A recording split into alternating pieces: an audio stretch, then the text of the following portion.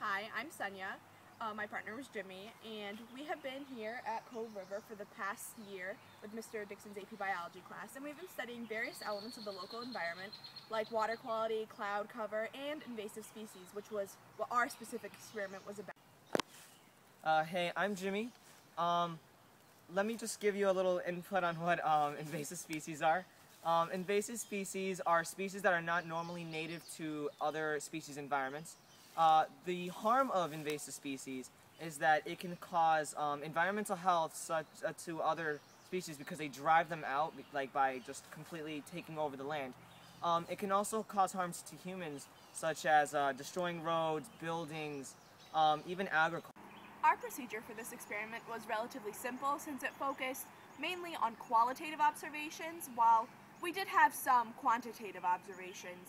We um, created 100 meter transects through the two different invasive species, which allowed us to use random sampling to get the most accurate information.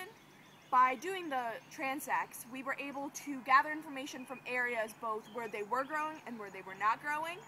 That way we had a better idea of how much of the plant was present in that area. Uh, we've been coming here for about a once every month starting in September uh, so like I said, I was been studying the Phragmites, and my partner has been studying the, the knotweed. Um, sometime through the through the middle of the year, though, the DEP cut down the Phragmites, which was both a roadblock and an opportunity because since the Phragmites were no longer growing near like the river areas, more uh, more of the species started coming back. Native plants started like living living here, but it was also a roadblock because since there was nothing to actually record, it didn't really give me much results starting near the like around January is when I started having zero results, which was a good thing because, like I said, they weren't going back, which means native species started growing and coming back.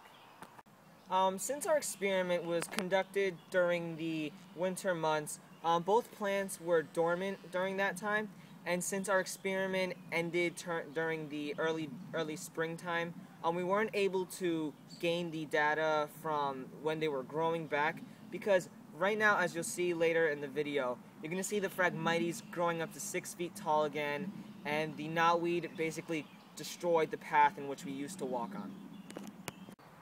Um, the Phragmites normally inhabit uh, freshwater areas such as like the Cove River as we're, you know, where we are. Um, as I said before, the DEP cut them down. As you see in the front, the Phragmites are torn down, um, destroyed. But then towards the back area, you would see them completely crushed.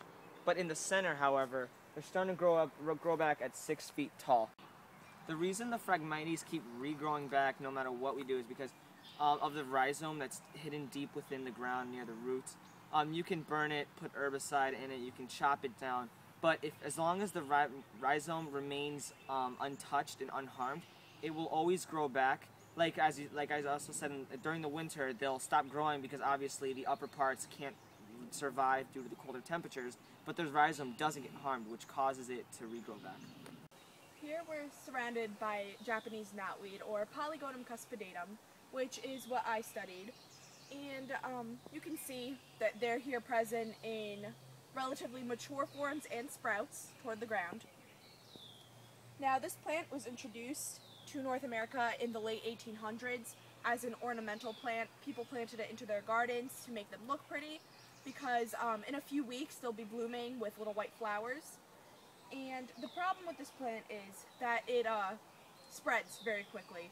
And due to its height and width, it covers the ground. Any plants growing low to the ground can't get enough sunlight and then thus can't perform photosynthesis and can't survive. Now, this plant is able to grow so much and is so hardy because of its root system. It has a large tuberous root that extends directly downward, and then a web of smaller roots. And beneath the surface, there are also rhizomes, which are part of the stem system, not the root system. These rhizomes are what allow it to regenerate in the spring. So even if you cut down the top part of the plant, the rhizomes are still growing underneath the surface and they can progress underneath the ground and they can travel through water as well to spread the plant, which is why it can be found on both sides of Cove River, not just one. In the coming year, we plan to continue our studies of the knotweed and the Phragmites, and we also plan to contact the DEP and collaborate with them on both studies and eradication efforts. Uh, we would also like to give a special thanks to our mentors, uh, Mr. Dixon, our AP Bio teacher, and Dr. Graves for supplying us with the equipment that we needed and making all of this possible. Gracias. Spasiba. Thank you.